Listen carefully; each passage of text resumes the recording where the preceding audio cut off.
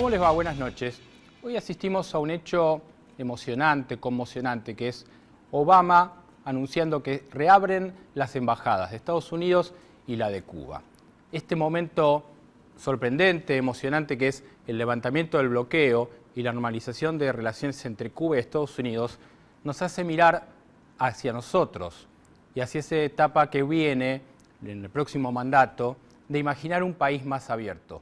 ¿Tendremos un país más abierto?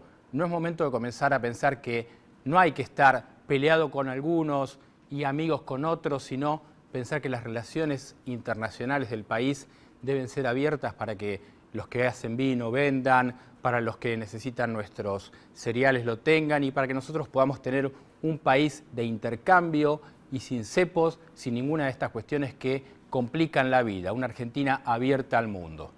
Bueno, algo de esto vamos a hablar con nuestro invitado, que es Alberto Pérez, hoy jefe de gabinete de Scioli, y yo creo, por algunos elementos que tengo, hombre fundamental de la administración de Daniel Osvaldo Scioli si llega a ser presidente. De esto hablaremos en la próxima media hora, aquí, en Las Cosas Como Son TV.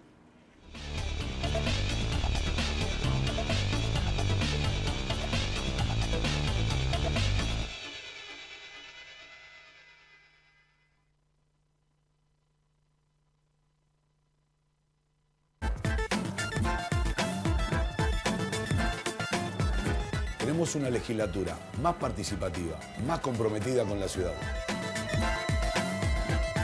Conocemos muy bien lo que necesitas. Esto es parte de lo que hicimos y queremos compartirlo con vos. Sí, con vos, porque vos sos la ciudad y la ciudad es parte de vos. En la legislatura trabajamos para que la ciudad, tu ciudad, sea la que soñás y la que soñamos todos. Vení, te invito a que la conozcas.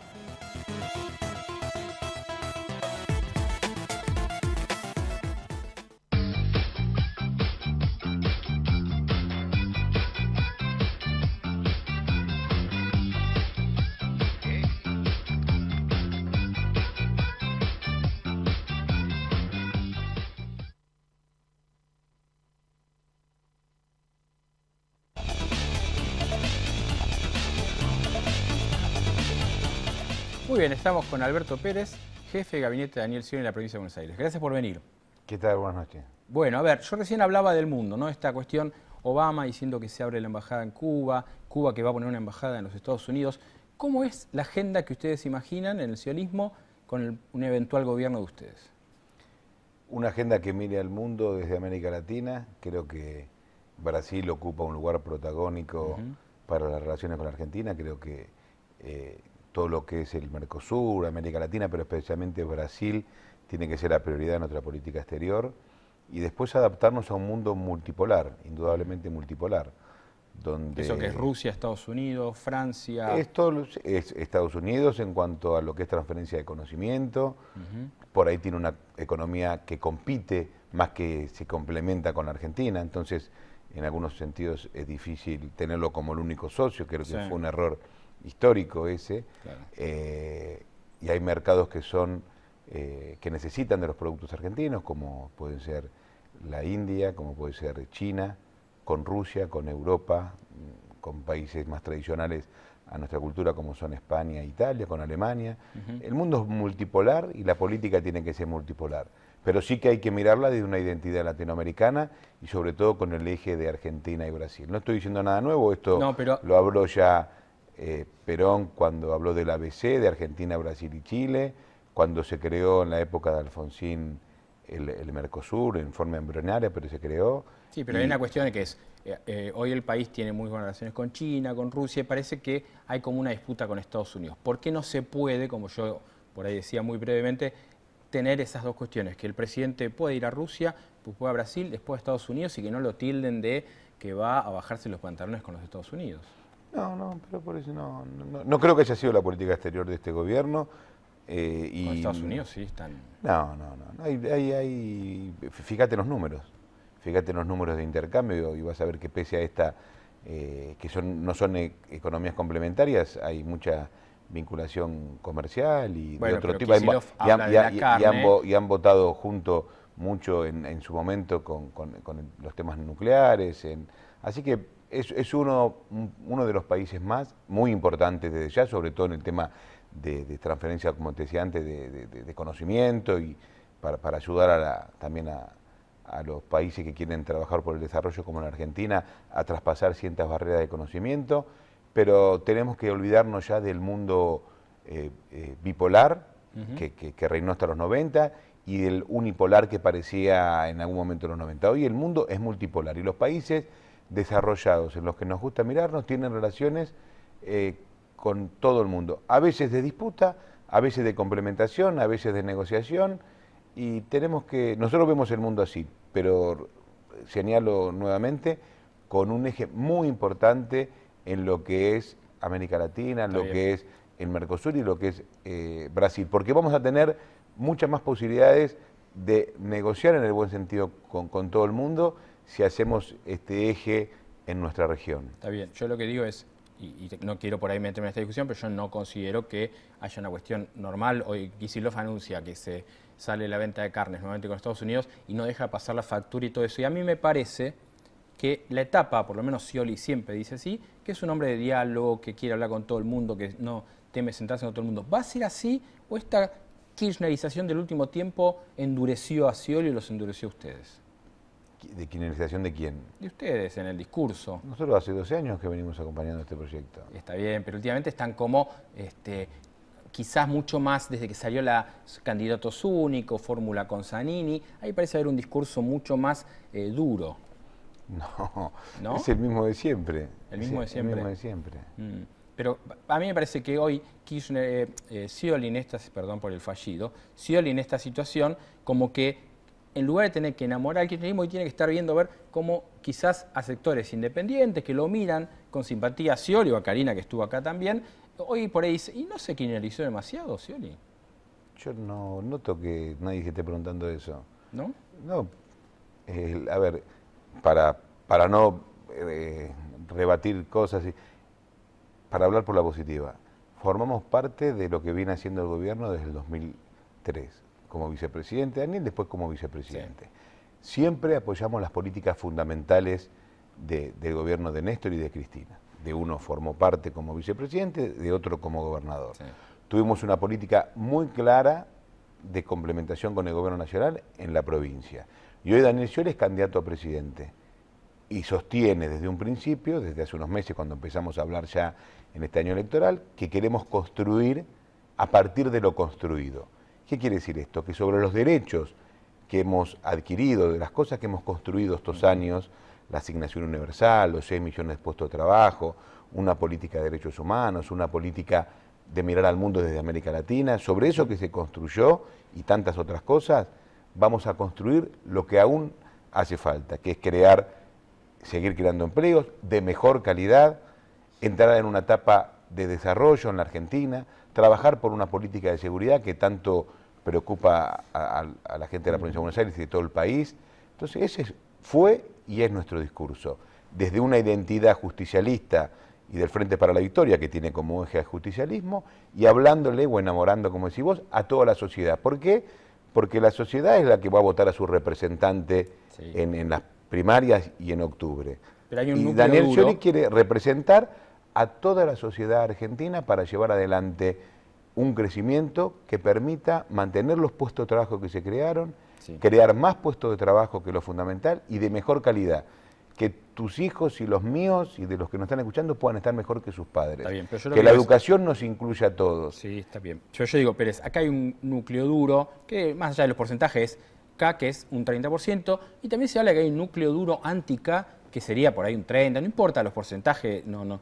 Digo, a mí me parece pésimo que exista algo así en un país demasiado dividido o que toma partido para un lado o por el otro. A mí me parece que ustedes Nosotros son le hablamos, a le hablamos a todas, pero, pero mm, no sé por eh, quién es para analizar muy profundamente si es que existe esa división o no. La Argentina generalmente, lo cual nos justifica, siempre estuvo más o menos Sí, en, no lo, en político. No No está está, bueno. pero lo que sí está bueno es decir las cosas eh, como son. Y hoy hay dos proyectos de país muy claros que se van a dirimir en estas elecciones.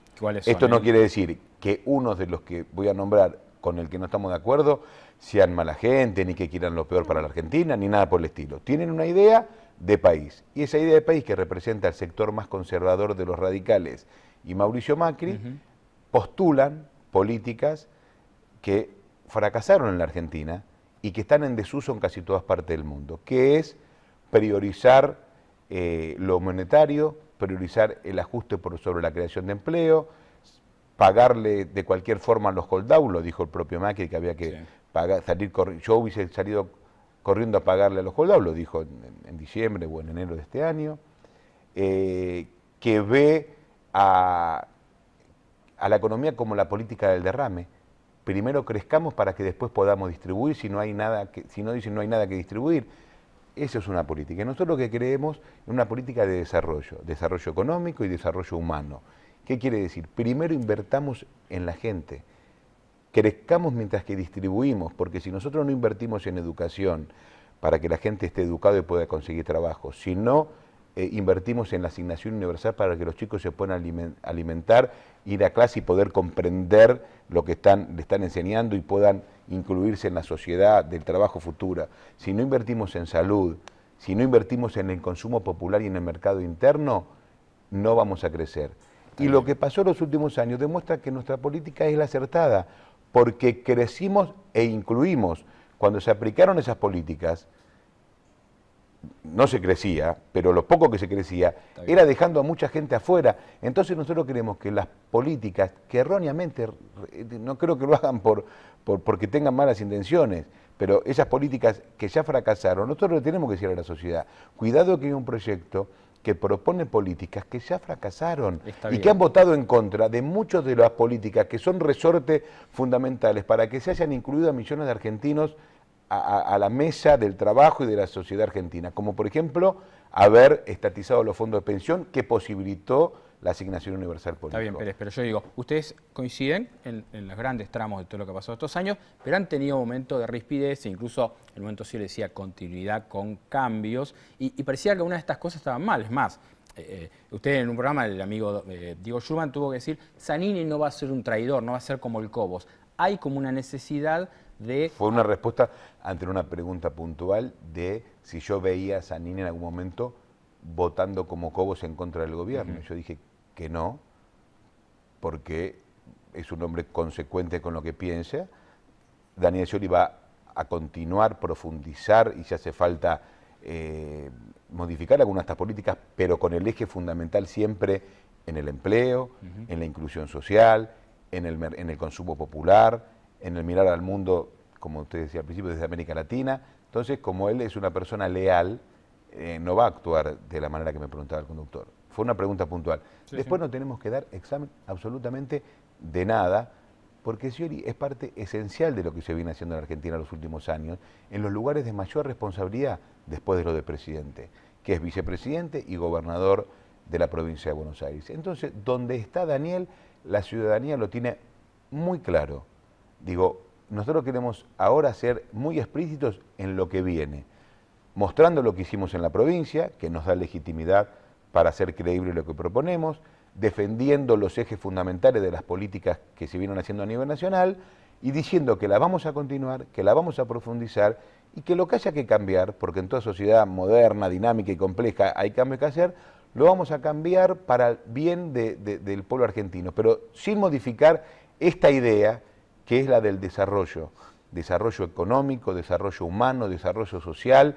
Todas las políticas que llevemos van a hacer que la Argentina crezca, pero que crezca con todos los argentinos adentro, que tengan trabajo y los que todavía no lo lograron con políticas sociales inclusivas como la asignación universal, teniendo el manejo de IPF para poder tener soberanía energética y poder seguir teniendo un... Eso, eso ya me, ya me lo... Ya me pero es bueno repetirlo para que entre bien. Quiero preguntarle unas cosas. El gabinete, lo define todo Scioli, todo así, casillero, todo Como los ocho, años en la provincia. Como ocho años en la provincia. ¿Va a haber gobernadores? Porque hay algunos que, Gioja, qué sé yo, algunos que se quedan Paco Pérez. Ya ha dicho que va a ser un, gabinete federal. Federal.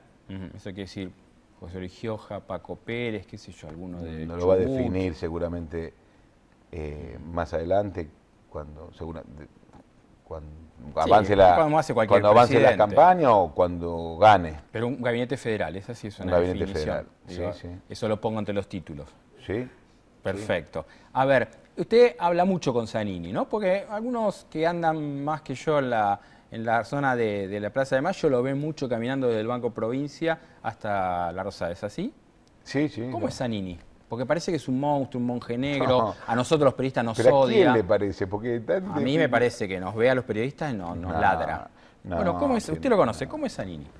A ver, es una persona que desde el 2003 viene ocupando un lugar muy importante como secretario legal y técnico de la presidencia, que ha sido fundamental en, en las normas que ha sacado este gobierno, que tiene que ver con las leyes de, de movilidad jubilatoria, de asignación sí, sí. universal, de la estatización de IPF, de los fondos que- de pensión. Uno- políticamente creo que lo sabemos todos. Es el secretario legal con- técnico, una- un- un es el hombre que le revisa las leyes. Un hombre con una gran formación política, un hombre con una gran formación política, que, que ha hecho muy bien su trabajo y que está consustanciado con los pilares de, de estas políticas. Cuando yo digo que, que- que fue fundamental en todas estas normas, es porque los dos presidentes, tanto Néstor como Cristina, le confiaron a él la responsabilidad de, de la elaboración, de la redacción, de las definiciones políticas que tomaban los Está bien, presidentes. Pero era Cristina, Néstor,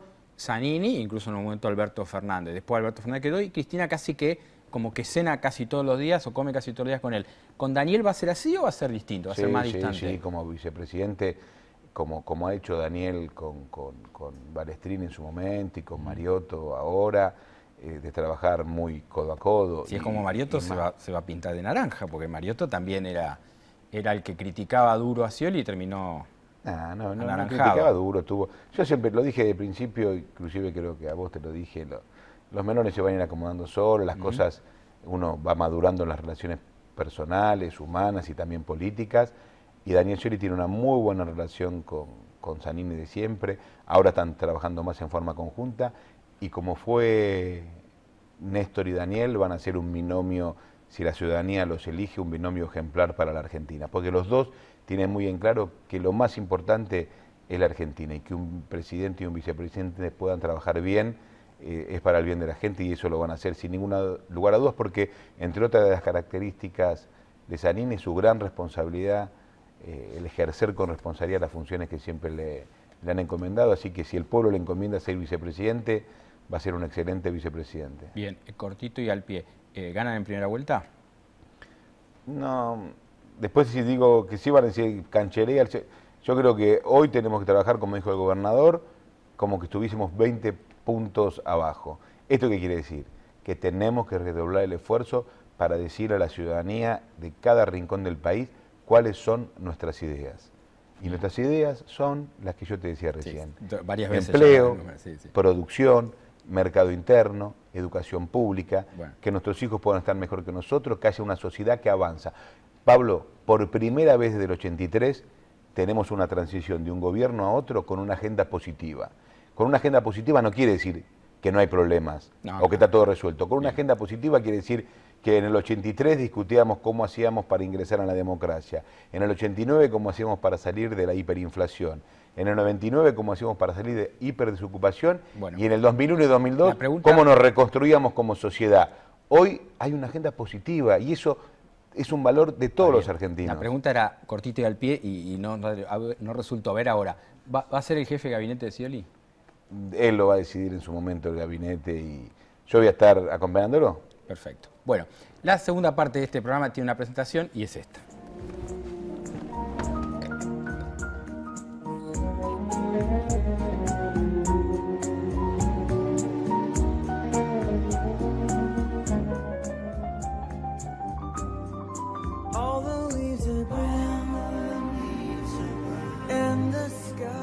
Bueno, muy bien, en este programa, voy a taparlo no porque nos guste taparlo, sino porque evitemos algún accidente. Bueno, un Cabernet Franc del Baco Club. ¿Le gusta el vino? Sí. ¿Sí? ¿Tinto?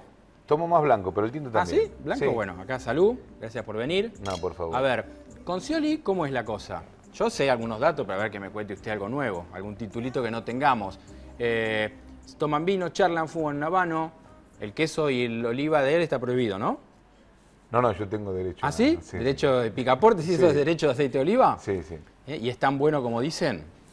Sí, que- vino tinto tomamos, tomamos en- a las noches cuando alguna cena, al mediodía no. Solemos almorzar más que cenar y no, en el almuerzo agua. Pero algunas cenas que compartimos sí, intentamos comer. A ver, Scioli es un hombre hiperactivo. Imagino que cuando tienen que tomar grandes decisiones, charlar en grandes temas, no se acuestan a cualquier hora. Se quedan charlando, fumando un habano y discutiendo, bueno, che, sí, ¿qué pero te pareció? ¿Cómo te fue es con muy, Zanini? es muy metódico con, con los horarios y como él madruga y hace ejercicio a la mañana, suele acostarse temprano. Ahora en campaña un poco más tarde, pero no es de alargarla mucho la ¿No? sobremesa, no, no, porque, repito, es trabajador y metódico y es la única forma de... Y además te puedo asegurar, Pablo, que en campaña no tiene que evitar acostarse muy tarde porque al otro día hay que estar temprano para atender a periodistas en las radios, para Claro. empezar el día, para hacer... Pero ¿cómo es? Porque reuniones. Scioli se levanta, lee los diarios corriendo en la cinta. ¿Cómo es el caso de Alberto Pérez, que es mano derecha y eh, hombre Y a de la confianza? tempranito a las 7 ya me está llamando, Ah, estamos ¿sí? hablando generalmente. ¿Y hay que leer los diarios o no? ¿O Sí, hay sí, un sí, reporte? con los ¿Cómo diarios es? ya leído. ¿A las 7 ya leídos? Sí, sí, sí. Ah, yo eso no lo logro todavía. ¿Cómo se hace? bueno, bueno, cuando estés en campaña para presidente vas a ver que no- no, yo soy un periodista que a las 7 estoy en la redacción con estas cuestiones de la convergencia. Nosotros leemos lo que usted escribe en la noche anterior. Bueno, perfecto. Hablando de lo que escribimos, tengo que decirle, a ver, Juliana y Eduardo, que nos miran todos los programas, Matías y Mariana, que les debo una respuesta, porque el día que estuvo Espinosa acá no le pregunté por el camino de cintura. Es un desastre el camino de cintura.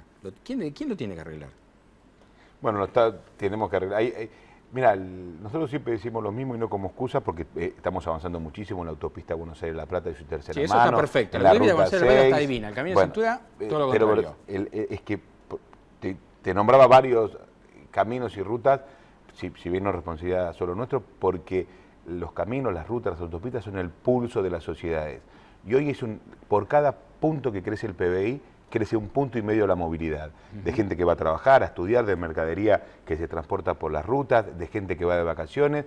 Y bueno, y eso necesita una inversión constante. Nosotros creemos que uno de los temas que te hablaba antes, de salir al mundo, a este mundo mu- multipolar, tiene que ver también con atraer inversiones para tener una eh, agresiva política de infraestructura, sobre todo en la ruta y en los caminos. Y es lógico que eh, ahí sí uno se puede endeudar, porque son muchas generaciones que van a usufructuar e- esa logística y esos caminos. También es lógico que sean varias generaciones lo que paguen esa financiación que nosotros tomemos para, para arreglar, entre otros, el camino de cintura y Bien. tantas cosas que hay que todavía arreglar. Le debo también saludo a mí, a Mateo, a Karen y a Fiona, que son toda gente que nos, es- que nos ve y que obviamente acá en Metro queremos saludar. A ver, eh, ¿tienen algunas ideas así eh, importantes? Digo, el tema de la Corte Suprema es un tema que está pendiente, ¿no? Hay una corte con un hombre muy grande como Fight que ya en breve se va a ir, seguramente, yo calculo. Información que uno tiene, que a fin de año se va. ¿Cómo van a hacer con eso? Hoy está gobernando la presidenta y estos son temas institucionales que, que nosotros intentamos no, no tomar ninguna posición que pueda eh, nada, ser tomada como que uno ya está eh, Sí, hablando como un presidente, en este gobierno, ni nada por el estilo.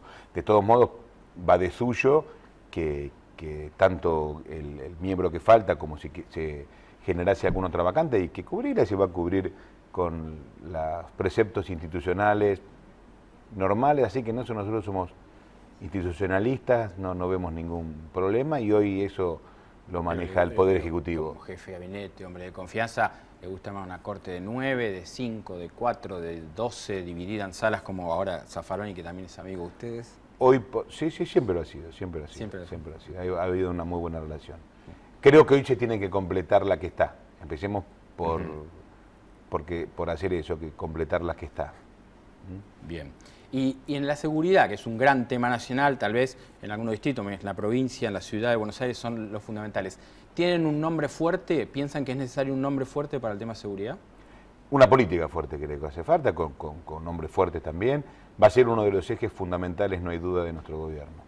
Junto a la generación de puestos de trabajo, sin duda, y las políticas de educación y salud, la seguridad es, es fundamental. ¿no? Es un reclamo de la sociedad. En la provincia hemos invertido muchísimo, sobre todo los últimos años, que es cuando pudimos, porque primero acomodamos todo lo que era la, la parte económico-financiera, esta provincia tenía un agujero fiscal importante, hicimos las reformas necesarias como para, por ejemplo, invertir en una de las prioridades fundamentales que es la seguridad.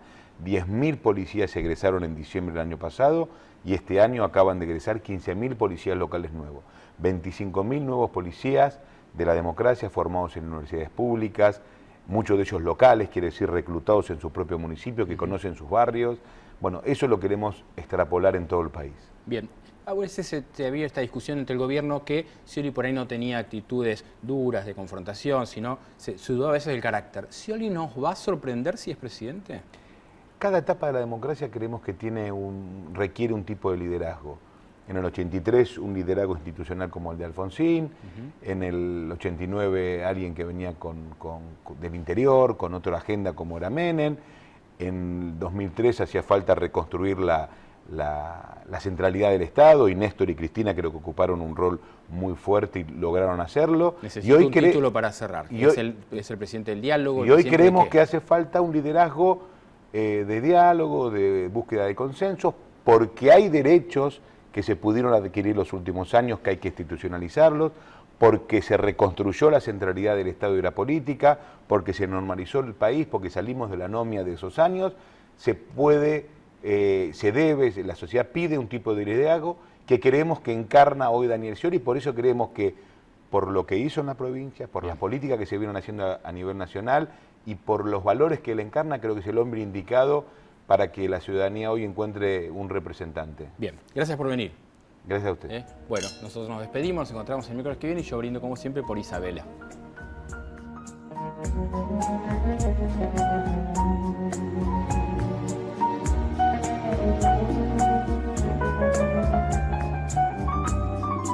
All the leaves are brown and the sky is gray. I've been for a walk on a winter's day. If I didn't tell leave.